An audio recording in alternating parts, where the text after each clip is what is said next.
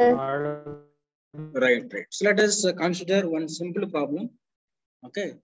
So I hope you are following uh, the uh, today's lecture, right? So whatever I have written, I think you are able to understand.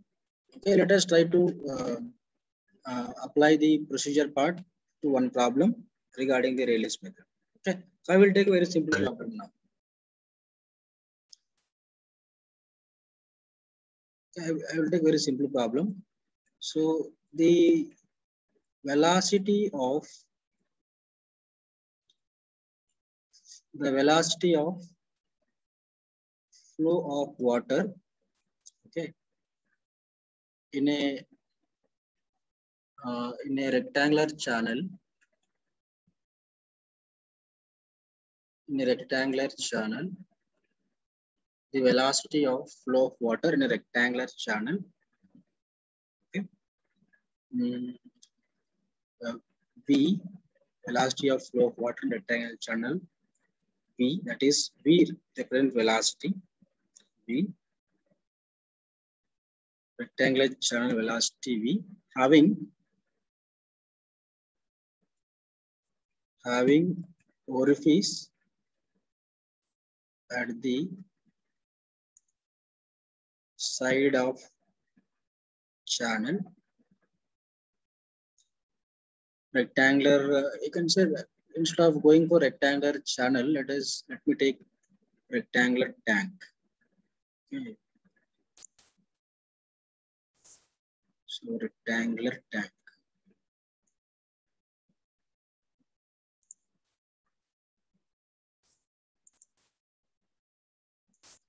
So velocity of flow of water in a rectangular tank, that is velocity V, having orifice at the side of the side of the uh,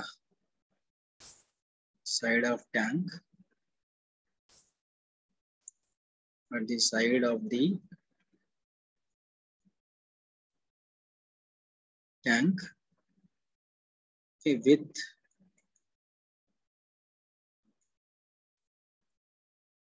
constant head h okay.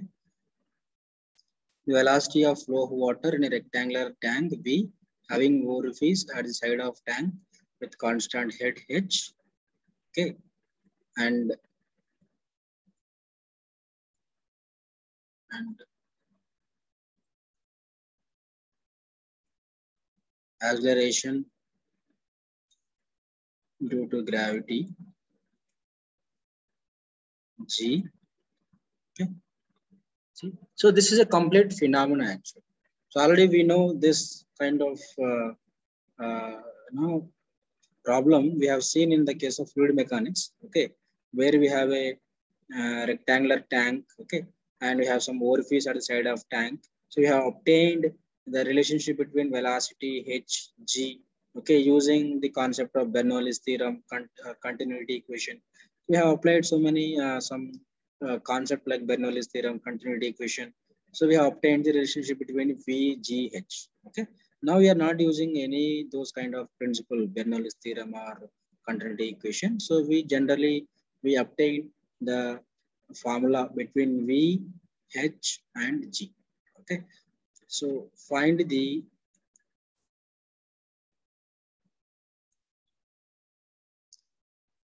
so relationship between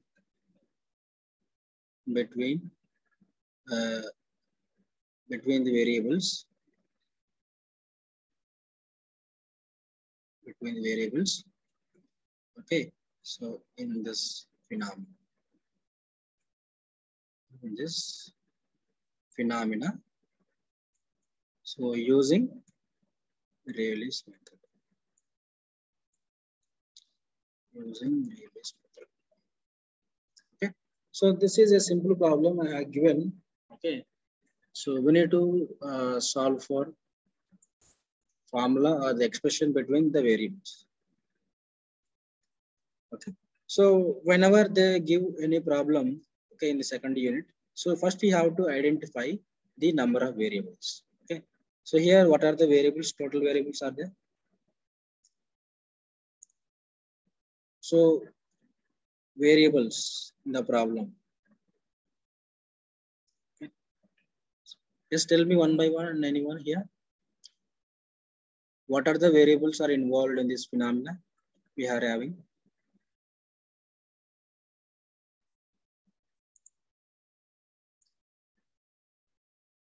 Is there anyone who is active in the class?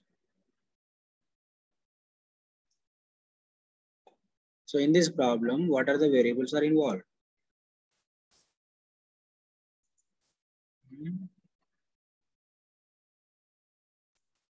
Velocity. So here velocity is one variable. Then, Acceleration due to gravity. so here g is one variable. Then H. constant head is a variable. Okay. So in this problem, we have total three variables are involved. So we need to obtain the relationship between these three variables. Okay. So according to our Rayleigh's method. Okay. So first of all here, which is dependent, which is independent variables. So in this phenomena, dependent variable. Okay. Dependent, dependent variable. Okay. In this phenomena, dependent variable is V. Okay. And the remaining are independent variables. Why? Because we are trying to obtain okay the formula for velocity. So this therefore velocity will be the dependent variable. So independent variables are not the remaining are the independent variables. That is G H. Okay. So once you find out the dependent and independent variables, so what is our first step according to Rayleigh's method?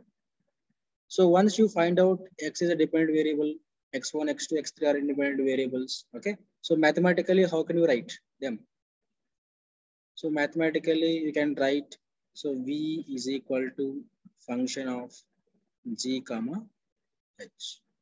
Okay. v is equal to function of g comma h. And what is the second step according to Rayleigh's method? So we can take out function f and we can put some constant k and we can, we can write g power a h power b. Okay, you can see the procedure part. Okay, so according to Rayleigh's method, you can write x is equal to k into x power x x1 power a, x2 power b, x3 power c. So similarly, we can write so g power a, h power b, and you can put some constant k. Okay, so once you uh, get this, this is equation one. So once you find out this particular equation, then we have to apply uh, what what is the principle you have to apply hmm? after this step. Yes, anyone? So how to obtain A, B, A, A and B here? What what is the principle you have to use? dimensional homogeneity. So dimensional homogeneity. So therefore, according to uh, so from the dimensional homogeneity, from the principle of so from the principle, okay. So I think I can write like this. Okay, after this step, according to Rayleigh's method, because we are we are solving for using Rayleigh's method, so we have to write this sentence. So according to Rayleigh's method, then we get this equation. Okay. So from the principle of dimensional homogeneity, okay, homogeneity. So what is the principle of dimensional homogeneity? We have to reduce each and every term, each and every variable. Variable means what? Which is not constant. So we cannot write, uh, we cannot reduce k because it's a constant. We cannot write dimension because k has no units. Okay. So where, where, v is called velocity, g is called uh, the gravity due to acceleration, which, uh, gravitational acceleration, and h is called head. So these three are variables. From the principle of dimensional homogeneity, so reduce each term to fundamental dimensions. I am writing for, for now. So reduce each variable,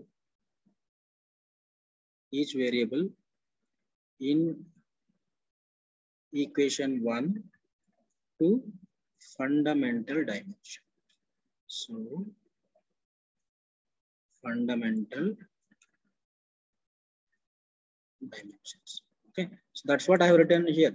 Okay, so after so ABC can be determined by using principle of dimensional homogeneity by reducing each variable in equation to two fundamental dimensions. Okay, so now tell me what is the uh, so it is so it is very convenient actually. Okay, so it is very convenient or very easy to first you if you are able to note down or if you are able to write the dimension of each and every uh, variable separately. So what is the dimension of the velocity? Okay, so if you are confusing, just write the unit of this. The unit will be meter per second. So use all, only all SI units so that you will, you will not confuse. So therefore, what is the dimension of this? So L T power minus 1. So similarly, we have G is a variable. So G is equal to what is the unit of this? Meter per second square because it is 9.81 meter per second square. So therefore, what is the dimension of this? So LT power minus 2. So similarly, what is the dimension of H? So H is a height. It's a head. Head means some kind of length or some height. So therefore, it is a dimension L. Okay. So once you write the all dimensions of these variables, okay, you can just substitute all this variable, all these dimensions in the equation one. So therefore, you can write V, uh, sorry. So what is the uh, dimension of V?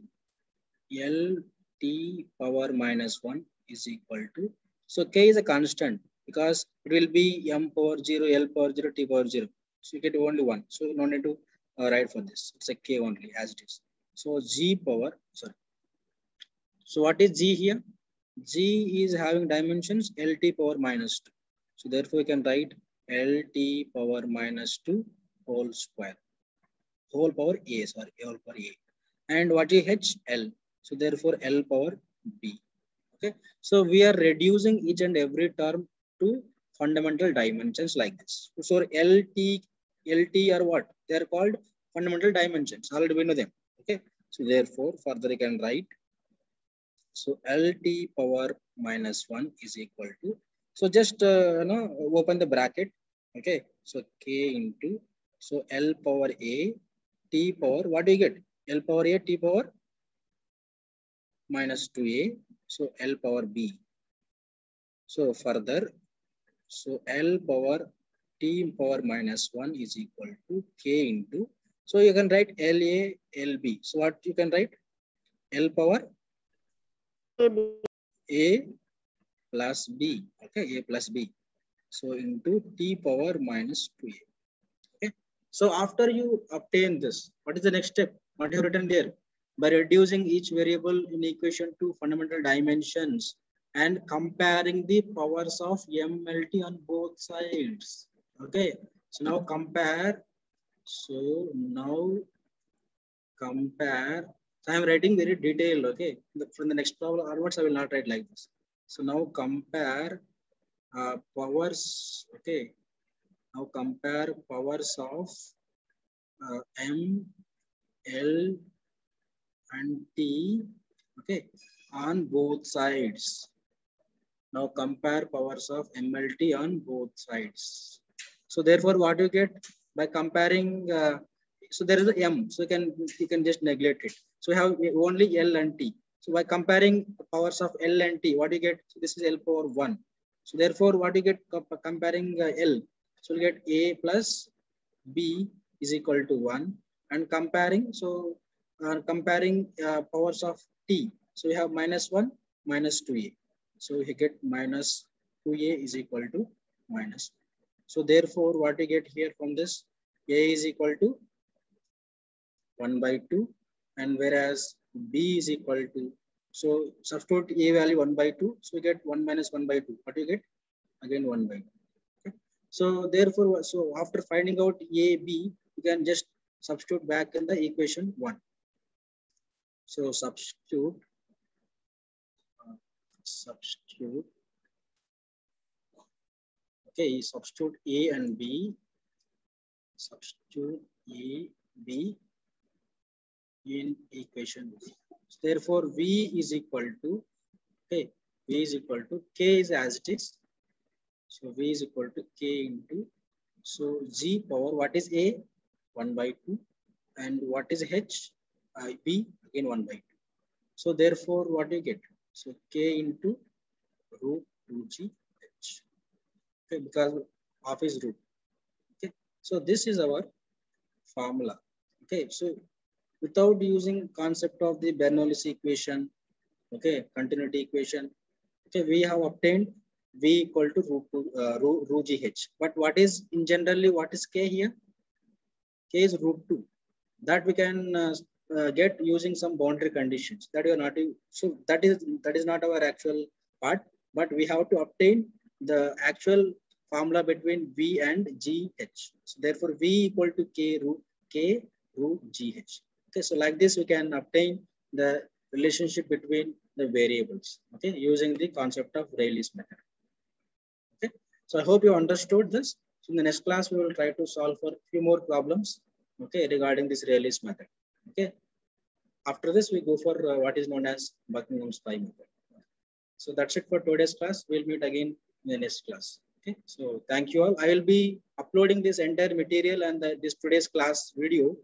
Okay. In the CodeNow software. So please go to the website and you can download the video uh, and also the PDF class notes. Okay. Thank you.